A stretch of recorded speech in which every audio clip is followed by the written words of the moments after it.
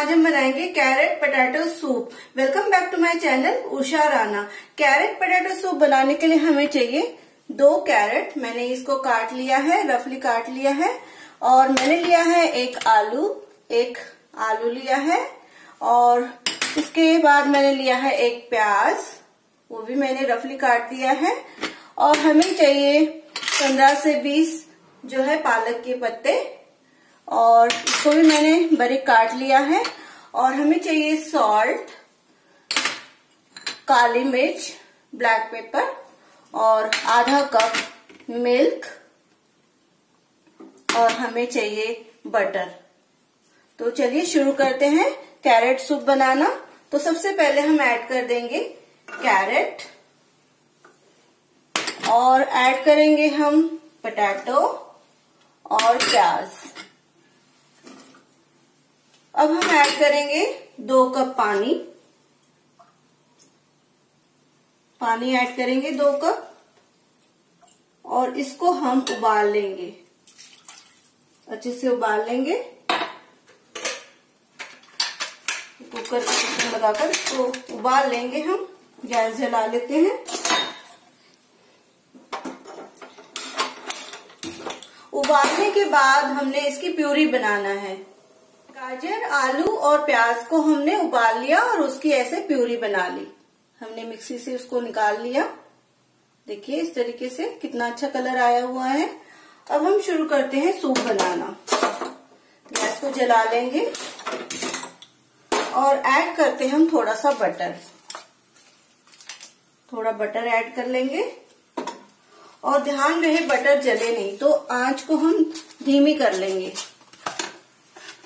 Gas हम धीमी कर लेंगे। बटर को मेल्ट होने देते हैं।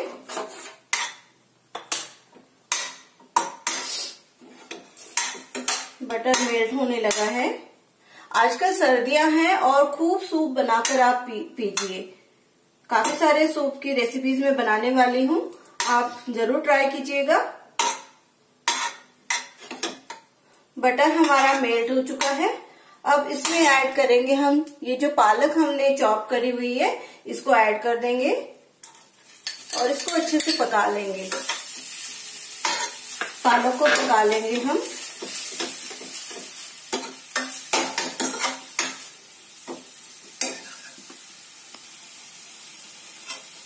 पालक जो है हमने पका लिया है। पालक पक चुकी है। अब इसमें हम ऐड करेंगे प्यूरी। ये जो कैरेट वाली प्यूरी है मिक्सचर है, हम इसको ऐड कर देंगे इसमें।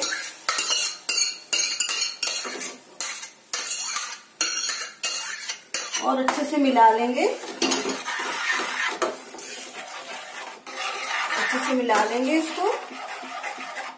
और अब हम इसमें ऐड करेंगे ये जो आधा कप हमने दूध लिया था, इसको ऐड कर देंगे। और इसमें ऐड करेंगे हम बहुत ही अच्छा कलर आया हुआ है। बहुत ही क्रीमी टेक्सचर आया हुआ है।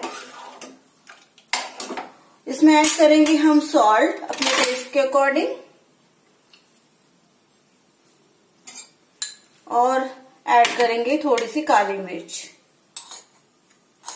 आप लाल मिर्च भी यूज़ कर सकते हो, देगी मिर्च।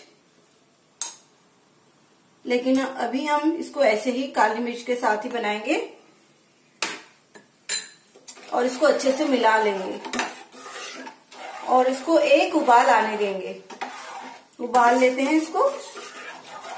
बहुत ही अच्छा जो है सूप बना हुआ है। देखिए कितना अच्छा सूप बना हुआ है।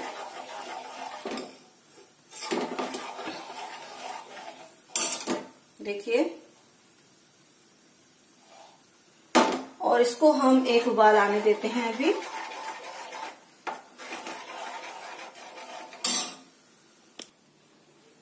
सूप जो है हमारा उबल गया है और देखो कितना अच्छा कलर आया हुआ है। इसको हम निकाल लेते हैं एक बोल में। एक बोल में निकालेंगे इसको हम।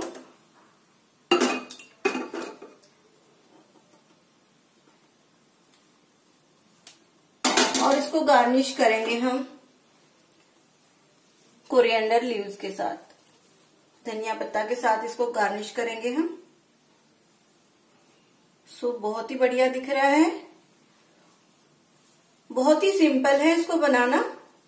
आप आसानी से अपने घर में ही सूप बना सकते हैं। कोई पैकेट रेडीमेड खरीद कर लाने की ज़रूरत नहीं है। घर में ही जो सामान अवेलेबल होता है, उससे आसानी से जो है सूप बना सकते हैं। देखिए, कितना अच्छा सूप बना हुआ है। बहुत ही अच्छा है और बड़ी अच्छी खुशबू आ रही है। आप भी इसको ज़रूर बनाइए। और अगर आपको ये डिश अच्छी लगी तो लाइक कीजिए, शेयर कीजिए और सब्सक्राइब कीजिए। थैंक यू वेरी मच मैं फिर आऊँगी एक नई डिश के साथ। धन्यवाद।